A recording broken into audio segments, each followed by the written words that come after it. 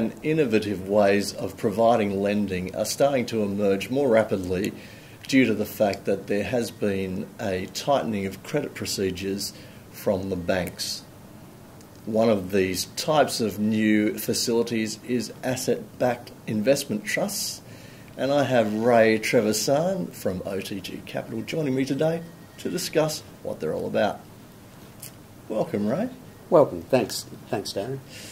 Look, why don't we start by just uh, having an explanation from you as to how asset backed investment trusts actually work? Sure, that's a very common question, actually, Darin. And as the name implies, uh, our investments are backed using uh, assets. So things like homes, uh, and again, people are very familiar with the fact that a mortgage is exactly that it's an asset backed loan.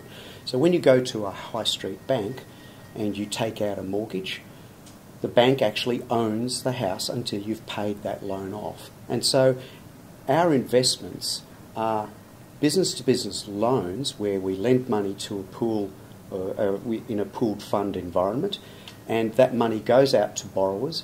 But as collateral or security, we use real property, and in this instance, it's usually residential property.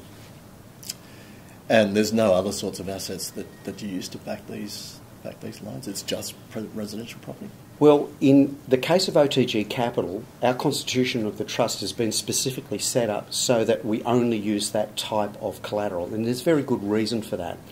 There are a number of lending institutions out there today, and there's a wide variety now on the market today that use things like commercial property, they might use rural, they may use business property. So, for example, uh, a company car or a printing press yep. Or computers. And again, there's nothing wrong with that style of collateral. However, uh, as an investor myself, we've been involved with asset backed securities now for close to 20 years. And over that, ex- that time span and experience, we know the kind of collateral that really means something of value, we have found to be primarily residential property. And in that regard, our trust specifies that when we work with our wholesale providers, they are properties that are in popular markets that can then be turned into cash if we need to, should a borrower default. Okay. Uh, I mentioned at the start there are several different types of uh, lending sort of emerging in the market. Mm-hmm. Could we have a comparison between some of the other facilities out there uh, versus the asset-backed property trust? Say something like business to consumer lending. How, sure. how does it differ from that?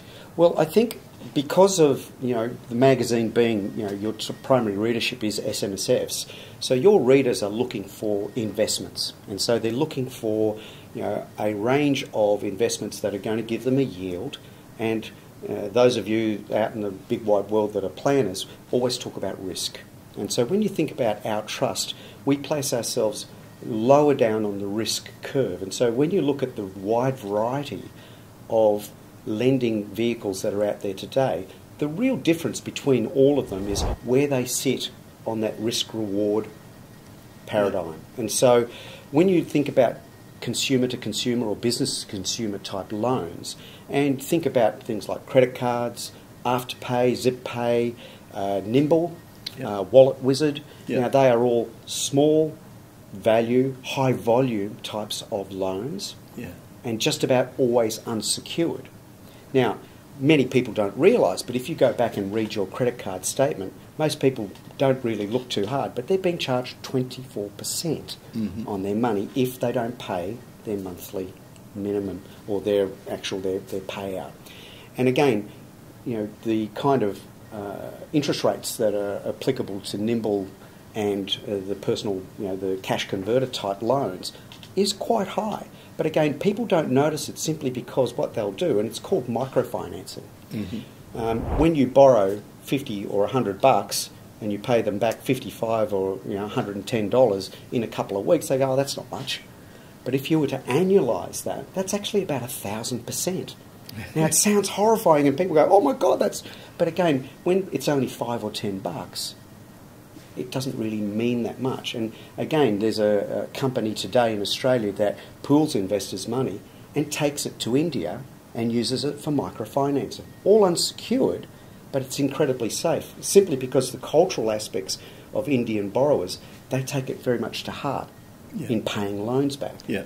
yeah. Here, I'm not quite so sure. I get the feeling that the average punter, if they don't pay their loan back, they go, oh, well, too bad. Yeah, But. You know, in the markets that we deal in at OTG Capital, we're much, much further down into a very, very safe area where we do a lot of due diligence with our borrowers, and we also provide that level of security with a residential mortgage in a market that we can then translate that back into cash quickly if we need to. Yeah, yeah.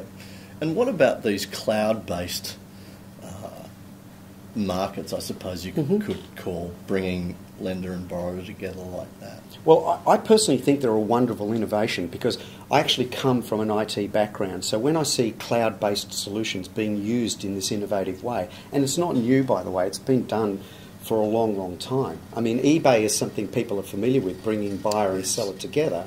But a platform, for example, like RateSetter, is a wonderful example where people are simply putting their requirements on a platform.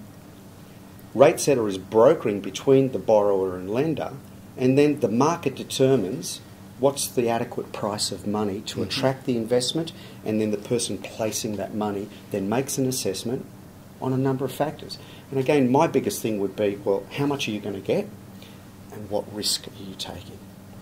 And so, for mine, cloud based platforms are perfectly valid ways of doing bonds, loans, mortgages, or whatever. Yep.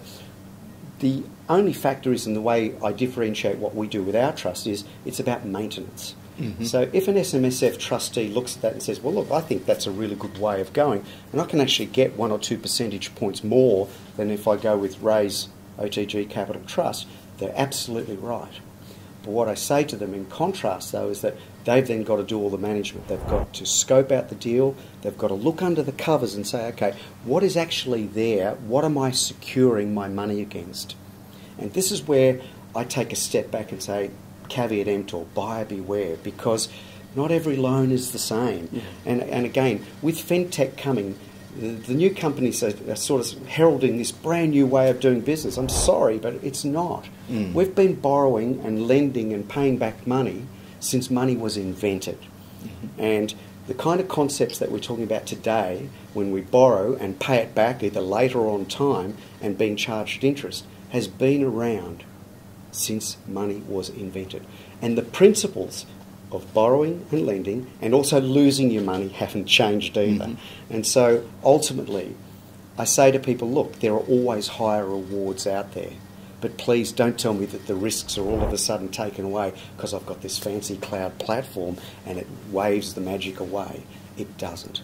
The risks are still there. And so when people ask me to compare what we do compared to other lending platforms, we are in the same sphere, Mhm. but I tend to look at what I'm doing with my collateral as something that is far more rock solid. Yeah, yeah. So on the other side of things, are there any restrictions on what the borrowed funds are used for? That's a good question. You'd be surprised how many times I get asked that because people are always curious and, they say, well, what are they going to use the money for? And I look at them and say, well, why do you care? I mean, you can go to the websites that, you know, tout these loans, but they're usually promoted as a B2B loan, so they might be for buying extra stock, making an acquisition, paying a tax bill. I mean, that's a popular one simply because the tax office will come on, they didn't focus on their GST or their balance sheet, and all of a sudden they've got a tax bill which they've got to pay. And so what they'll then do is use a second mortgage on their home or a caveat lend to be able to satisfy a short term requirement and then pay that loan off. So ultimately, we really don't care. It's their business. Mhm. What we care about is the value of the property that they put up as the collateral and can they pay it back in a reasonable amount of time. In an SMSF context, Mhm. what sort of role do you think that uh, an investment in OTG Capital can play in an SMSF portfolio? Yeah, again, a, a really good question, and I get asked this a lot when I go. Uh, we sponsor stands and we, we go to investment seminars like the AIA, etc. And they want to know, well, Ray, how much of my portfolio should I be doing? And I, I look at them and immediately put my hands up and say, well, look, we don't give financial advice. But again, people that take time to become educated in investing, they understand the principles of a diversified portfolio. And all investors should have a really good handle on their own risk profile and their mm-hmm. appetite for risk. Mm-hmm. And so, in answer to that question, I always simply say to them, look, if you are looking at a diversified uh, portfolio, we fit in an area where you may allocate a certain portion, not the entire lot, but a certain portion of your portfolio into an area where you get a regular monthly income. It's far down on the risk reward curve. It's not the sexiest returns, but it's certainly moderate, and it's roughly two and a half to three times the return of a bank deposit with similar collateral. Yep. And so we play it safe, we play it steady, and we play it consistent. Is it the whole game? No. But it forms part of a wider game. Yep. Well, fantastic. They were great insights, and thank you for your time today, Ray. Thank you so kindly for the opportunity.